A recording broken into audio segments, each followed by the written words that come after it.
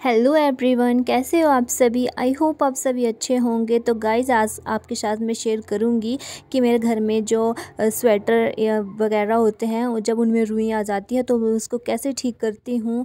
तो ये मेरे बेटे का स्वेटर है, जो मैंने अभी एक दो महीने पहले ही ख़रीदा था और इस पर रुई आना स्टार्ट हो गई है। तो ये जो आप मेरे हाथ में देख रहे हैं, ये है कॉम। मैंने यहाँ, ये मार्केट से दो रुपए की ख़रीदी थी और ये बहुत ही यूज़फुल है मेरे लिए क्योंकि क्योंकि मेरे कपड़ों में जब भी रुई आ जाती हैं, जैसे स्वेटर वगैरह में तो मैं इसी से साफ़ करती हूँ। तो गाइज़ ये जो कॉम है, इसको हमें स्वेटर पे धीरे धीरे चलाना है। और आप देखेंगे कि जब हम इसको नीचे की तरफ़ चलाएँगे तो ये रुई जो है, वो कॉम पे आना स्टार्ट हो जाएगी और स्वेटर जो है, वो साफ़ हो जाएगी।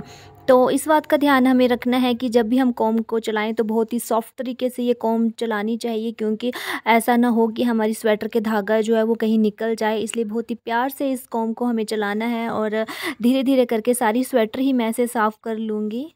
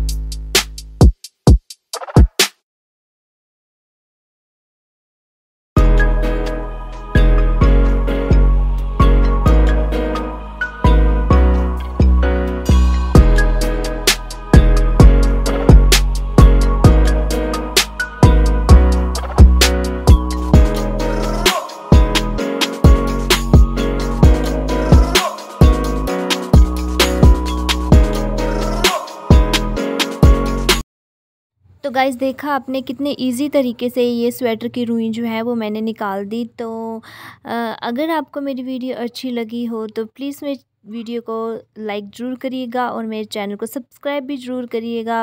और मिलते हैं एक नई वीडियो के साथ।